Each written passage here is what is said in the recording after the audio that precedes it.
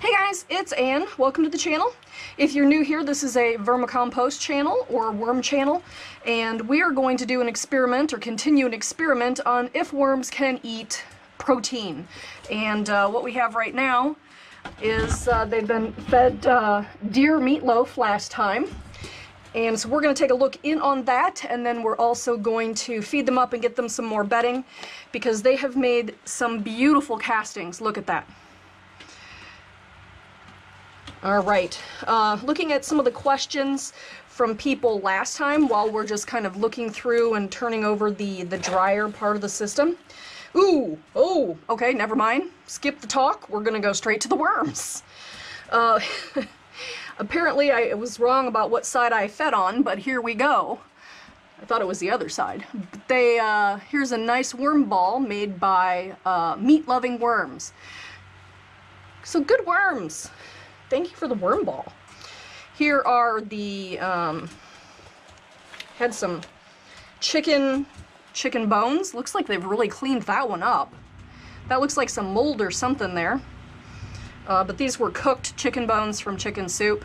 And one of the things that I did want to bring up from some of the comments, people were like, oh my god, you're gonna cause a breakout of, uh, you know, E. coli or, or something all of the stuff that I'm putting in here, with the exception of a couple things of eggs, were um, thermal processed. When you do actual canning, where you get the pressure cooker and you basically cook things for um, an hour or more, sometimes an hour and a half in the case of meat, at 20 atmospheres. You can look it up. Um, I actually do hold a certificate for thermal processing professionally, uh, so I am 100% sure that the, the food that I have processed for my own home and for my own consumption is 100% food safe. Even though the stuff that I have been feeding is not something that I would eat because it's, you know, expired because it's too old, it does not mean that it is, has any live microbes such as what would give people like E. coli or something like that. Um, food poisoning comes from live microbes and in the case of thermal processing, you've killed things. Oh, wow. That, I was wrong. This is where the deer meat was. Ugh. It's been three weeks. I don't think the worms uh, really liked that. It's still there. Hmm, weird. Okay, well, we are going to uh, leave the chicken bones over here, but it's very interesting that the worms have not gotten into that even after three weeks. You can see it there.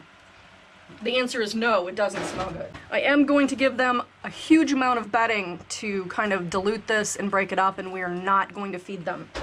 So keeping with the conversation of food safety, and people are like, you know, you shouldn't put this on uh, food plants, I'm going to get it tested. I know people who will do this and do micro testing for species, and will be able to tell me if there is E. coli, if there is salmonella, or other things of a food safety nature. So before I use any of these castings, I will have a look. Uh, but yeah, the worms do not need any more food this week, but we are going to give them a lot of bedding, mix it in with the other castings so they have more real estate to hang out in. And this is something that you should do in your bins. If, if they do not finish the food, do not give them more food. Um, a lot of people are like, how often do I feed the worms? How much do I feed the worms? The worms are the ones that are in charge. You absolutely have to do what the worms want and need. Uh, they, uh, they're in control here. So I went through this part thinking this is the part where I had fed, because that's where I found all the worms. Uh, but in reality, the worms were working on the bedding rather than working on the deer meat uh, meatloaf, which means it's not ready for them. So in a bin with an ecosystem like this where there are all kinds of bin critters, as I suspected, certain things are going to have to be broke down by other biological processes other than worms before the worms can eat it. So just to make sure that they have plenty of room and plenty of things to work on while that uh, meatloaf is still breaking down, we're going to just keep putting in a little bit more bedding here. And that way um, the worms will be, you know, satisfied until that's ready for them. I expect that uh, next time they will be all up in this and we will get to see a worm ball of some worms.